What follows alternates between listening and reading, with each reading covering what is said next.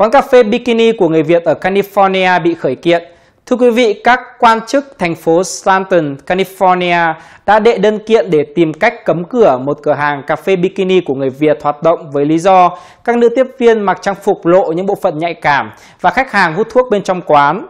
Đơn kiện hồi tháng trước chống lại quán cà phê GJ tại tòa thượng thẩm quận Cam, thành phố có nghĩa vụ và lợi ích trong việc bảo vệ sức khỏe cộng đồng, an toàn và phúc lợi xã hội trong phạm vi thành phố.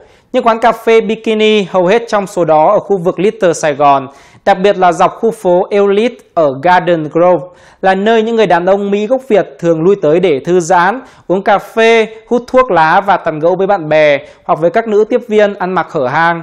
Việc ra tòa để yêu cầu đóng cửa một quán cà phê bikini là một động thái hiếm của thành phố.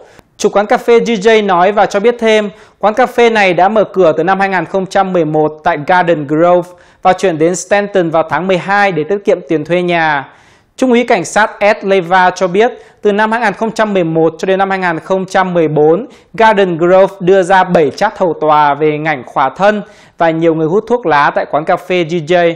Năm 2015, khi quán cà phê này vẫn còn ở Garden Grove, các nữ tiếp viên đã nhiều lần bị nhìn thấy mặc áo bikini khi trong tình trạng bị kéo sang một bên.